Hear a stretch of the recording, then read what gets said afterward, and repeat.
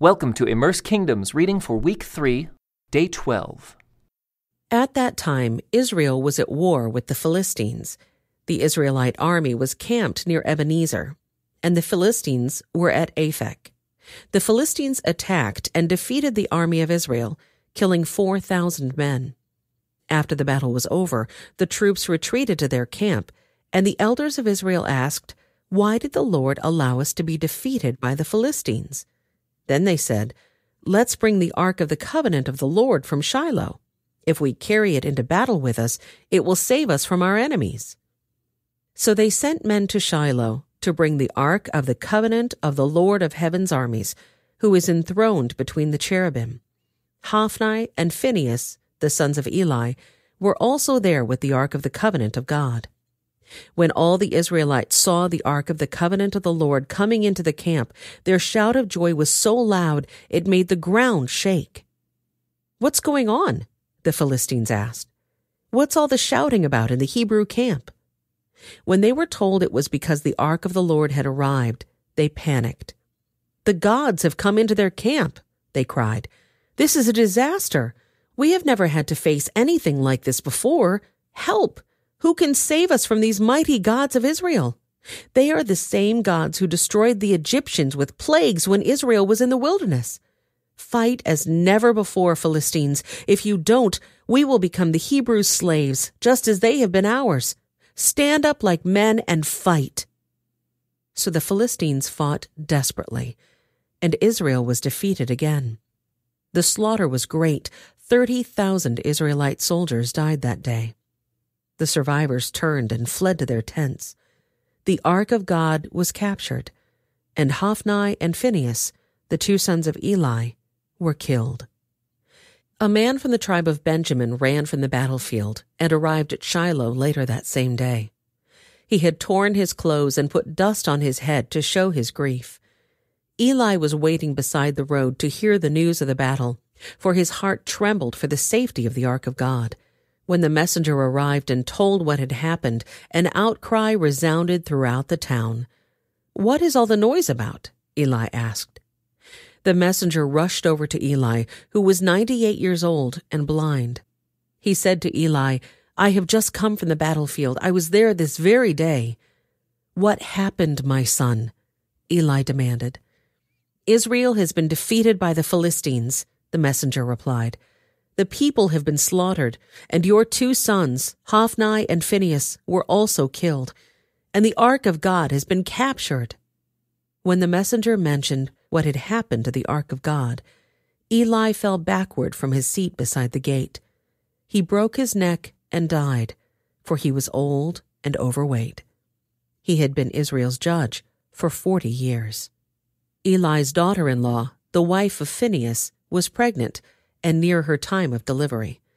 When she heard that the ark of God had been captured, and that her father in law and husband were dead, she went into labor and gave birth. She died in childbirth, but before she passed away, the midwives tried to encourage her. Don't be afraid, they said. You have a baby boy. But she did not answer or pay attention to them. She named the child Ichabod, which means where is the glory? For she said, Israel's glory is gone. She named him this because the ark of God had been captured, and because her father in law and husband were dead. Then she said, The glory has departed from Israel, for the ark of God has been captured.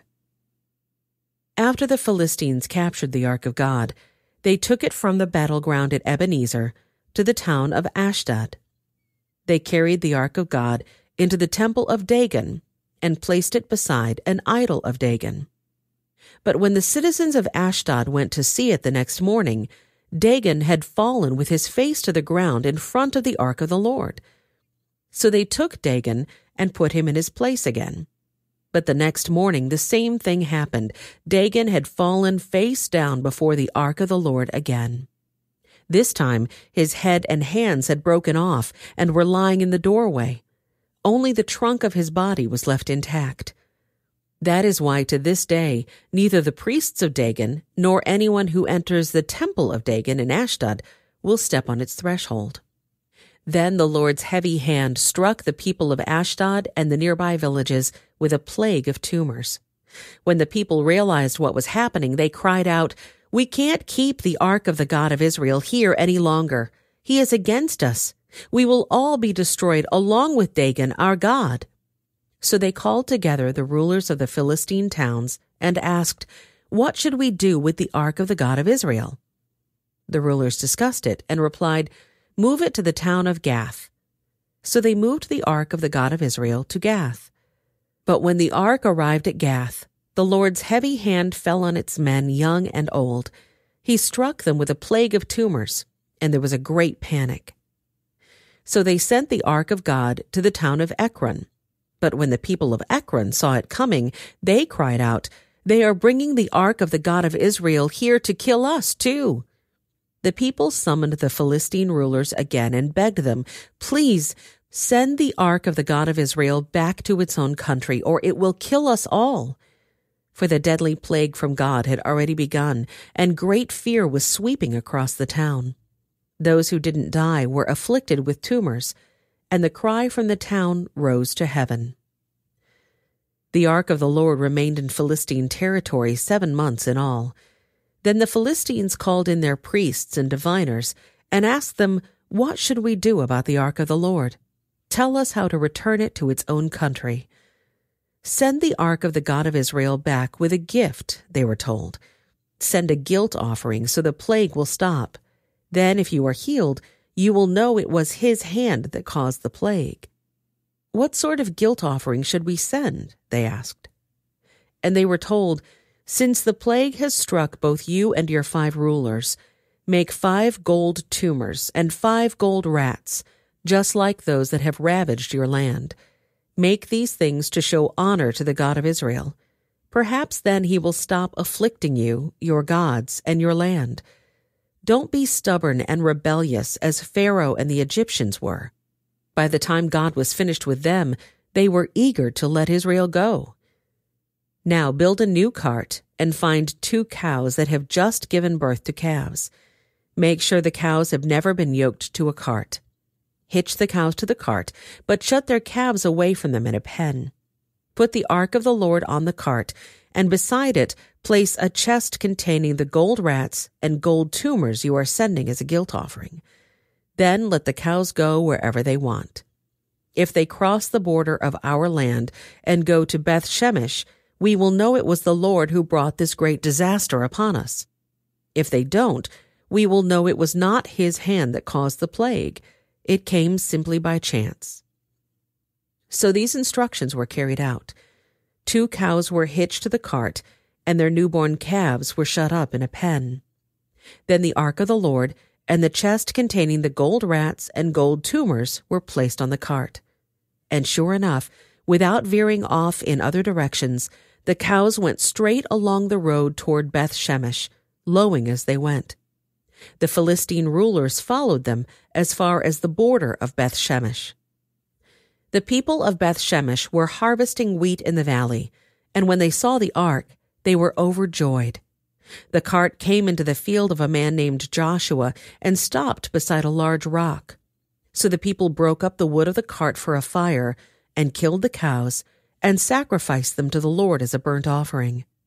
Several men of the tribe of Levi lifted the ark of the Lord and the chest containing the gold rats and gold tumors from the cart and placed them on the large rock. Many sacrifices and burnt offerings were offered to the Lord that day by the people of Beth Shemesh. The five Philistine rulers watched all this and then returned to Ekron that same day. The five gold tumors sent by the Philistines as a guilt offering to the Lord were gifts from the rulers of Ashdod, Gaza, Ashkelon, Gath, and Ekron. The five gold rats represented the five Philistine towns and their surrounding villages, which were controlled by the five rulers. The large rock at Beth Shemesh where they set the ark of the Lord, still stands in the field of Joshua as a witness to what happened there. But the Lord killed seventy men from Beth Shemesh because they looked into the ark of the Lord. And the people mourned greatly because of what the Lord had done. Who is able to stand in the presence of the Lord, this holy God? They cried out. Where can we send the ark from here? So they sent messengers to the people at Kiriath Jearim and told them, The Philistines have returned the ark of the Lord. Come here and get it. So the men of Kiriath Jearim came to get the ark of the Lord. They took it to the hillside home of Abinadab and ordered Eleazar, his son, to be in charge of it. The ark remained in Kiriath Jearim for a long time, twenty years in all. During that time all Israel mourned, because it seemed the Lord had abandoned them.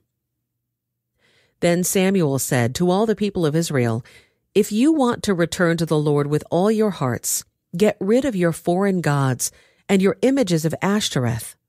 Turn your hearts to the Lord and obey him alone. Then he will rescue you from the Philistines. So the Israelites got rid of their images of Baal and Ashtoreth and worshipped only the Lord. Then Samuel told them, Gather all of Israel to Mizpah, and I will pray to the Lord for you. So they gathered at Mizpah, and in a great ceremony drew water from a well and poured it out before the Lord. They also went without food all day and confessed that they had sinned against the Lord. It was at Mizpah that Samuel became Israel's judge. When the Philistine rulers heard that Israel had gathered at Mizpah, they mobilized their army and advanced. The Israelites were badly frightened when they learned that the Philistines were approaching. Don't stop pleading with the Lord our God to save us from the Philistines, they begged Samuel. So Samuel took a young lamb and offered it to the Lord as a whole burnt offering. He pleaded with the Lord to help Israel, and the Lord answered him. Just as Samuel was sacrificing the burnt offering, the Philistines arrived to attack Israel. But the Lord spoke with a mighty voice of thunder from heaven that day, and the Philistines were thrown into such confusion that the Israelites defeated them. The men of Israel chased them from Mizpah to a place below Beth Car, slaughtering them all along the way. Samuel then took a large stone and placed it between the towns of Mizpah and Jeshanah. He named it Ebenezer, which means the stone of help, for he said, Up to this point the Lord has helped us. So the Philistines were subdued and didn't invade Israel again for some time. And throughout Samuel's lifetime, the Lord's powerful hand was raised against the Philistines. The Israelite villages near Ekron and Gath that the Philistines had captured were restored to Israel, along with the rest of the territory that the Philistines had taken. And there was peace between Israel and the Amorites in those days. Samuel continued as Israel's judge for the rest of his life. Each year he traveled around, setting up his court first at Bethel, then at Gilgal, and then at Mizpah. He judged the people of Israel at each of these places. Then he would return to his home at Ramah, and he would hear cases there too. And Samuel built an altar to the Lord at Ramah. This concludes today's Immerse Reading Experience. Thank you for joining us.